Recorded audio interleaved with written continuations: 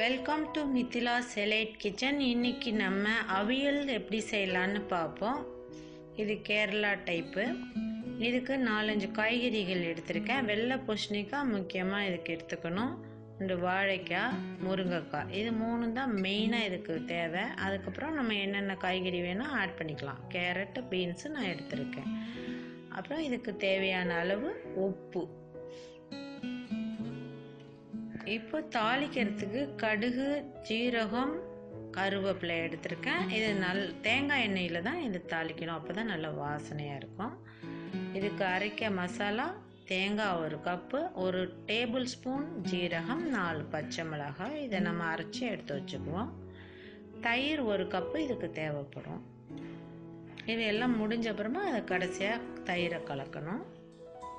இப்போ அதை வெந்நீரில் கடாய் கடாய் வ கடாயில் வெந்நீர் வச்சு அதில் காய்கறியெல்லாம் போட்டு வேக வைப்போம். ஒரு டென் மினிட்ஸ் இதை மூடி வச்சுட்டு நல்லா வேக வச்சிடலாம். இந்த வந்து நம்ம ரைஸ் கூட அடை அடை அவியலுக்கு மாதிரி சாப்பிட்லாம். இப்போ காய்கறிலாம் நல்லா வெந்துருச்சு ஒரு டென் மினிட்ஸ்க்கு அப்புறம் பார்த்தீங்கன்னா இப்போ நம்ம அந்த மசாலா அரைச்சி வச்ச மசாலாவை இதில் கலந்துருவோம். இப்போ சால்ட்டையும் போட்டோம்னா நம்ம அந்த காய்கறியில் நல்லா ஏறிடும். அந்த டைம் நம்ம சால்ட்டையும் போட்டுடலாம். அதுக்கு தேவையான உப்பை. இப்போ இன்னும் கொஞ்ச நேரம் ஒரு ஃபைவ் மினிட்ஸ் போல் இதை நல்லா கொதிக்க விடலாம். அந்த தண்ணியெல்லாம் செக் பண்ணிட்டு நல்லா கிரேவி பதத்துக்கு வந்துடும் அது வரைக்கும் நம்ம இதை கொதிக்க விடுவோம். இப்போ நல்லா கொதிச்சு வந்துருச்சு கிரேவி பதத்துக்கு வந்துடுச்சு இப்போ நம்ம கேஸ் ஆஃப் பண்ணிடலாம். ஆஃப் பண்ணிவிட்டு நம்ம தயிரை கலக்கணும். அதுக்கப்புறமா நம்ம தாளித்து அதில் போடலாம். எப்படின்னா தேங்காய் எண்ணெய் பக்கத்துலேயே ஒரு பேன் வச்சு தேங்காய் எண்ணெய் ஊற்றி கடுகு ஜீரகம் கருவேப்பிலை. இது மூணு முக்கியமாக நம்ம தாளிச்சிடணும்.